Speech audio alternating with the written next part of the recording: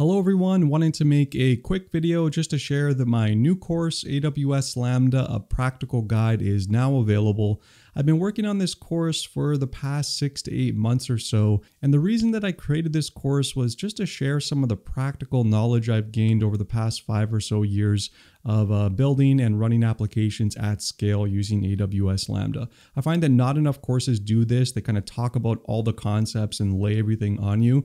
Um, but what I've really tried to do in this course is just emphasize the important stuff, the things that you absolutely need to know about in terms of building, running, monitoring, debugging, and tuning your AWS Lambda applications.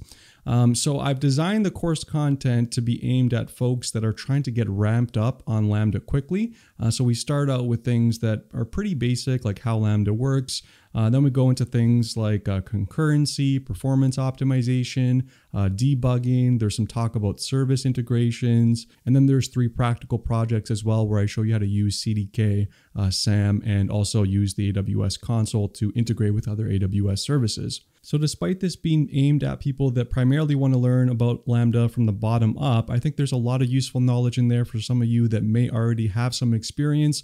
I've dropped in a bunch of pro tips and there's a bunch of stories in the course as well of how I've been bitten by AWS Lambda and some painful lessons that I had to learn. So hopefully those will be useful to you as well.